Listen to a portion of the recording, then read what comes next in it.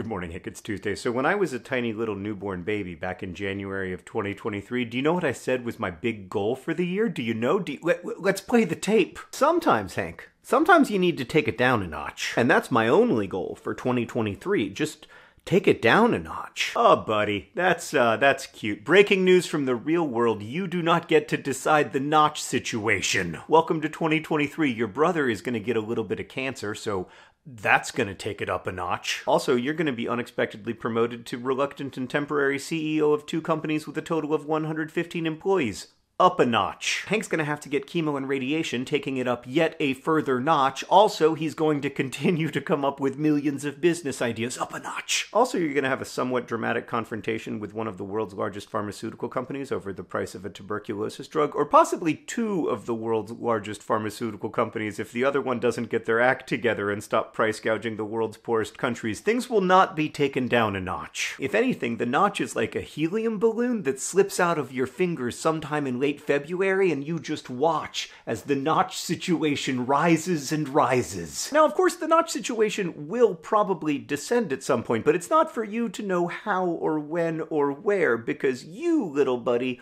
are, as Robert Penn Warren memorably put it, a bubble on the tide of empire. Now, look, it can be a helpful delusion to imagine that we have more control over our fate than we actually do, right? Like, if I felt all the time the way I feel walking onto an airplane, I have absolutely no say in whether I survived this journey, I wouldn't be able to function. And also, I wouldn't be giving myself any agency when, of course, I, I do have a little bit, right? Like, I might be a bubble on the tide of empire, but I am nonetheless some small part of the tide, and the choices I make do matter. But the great risk of imagining that I decide the notch situation is then extrapolating and imagining that other people decide their notch situation. And that can lead to all kinds of stigma and dehumanization, right? Like, Hank, we've both seen comments that are like, Hank got a vaccination so he got cancer, or Hank worked too hard, so he got cancer, or Hank has ulcerative colitis, so he got cancer, etc. And all those comments are designed to make the person commenting feel better. Like, I'm not going to get cancer because I don't have colitis, or I'm not going to get cancer because I didn't get vaccinated. It's not about Hank. It's about them. And furthermore, trying to find the cause when you're not like Hank's physicians is obviously not about Hank or his well being. It's obviously about, you know, wanting to feel better yourself, wanting to feel like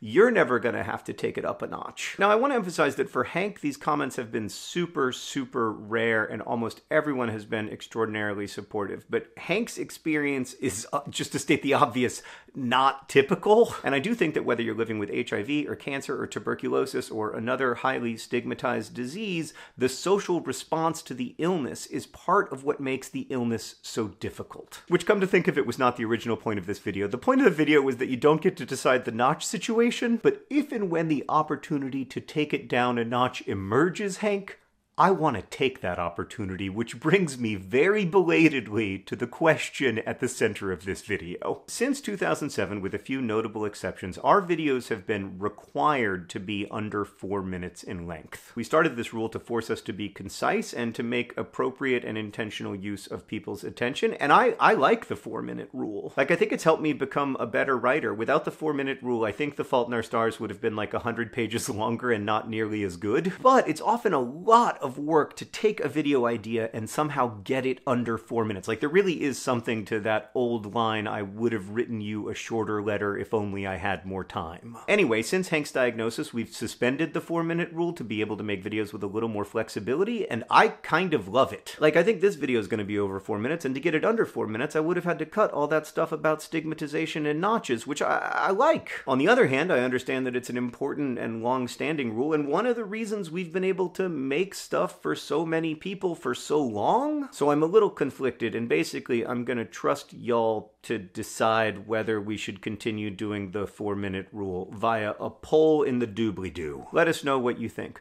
Listen, you do not decide the notch level, but I will tell you something from experience. Feeling accompanied and unalone as the notches go up helps. Does it help as much as the notches coming down? No, but it helps. So thank you for being here with us, really now more than ever. Hank, I'll see you on Friday.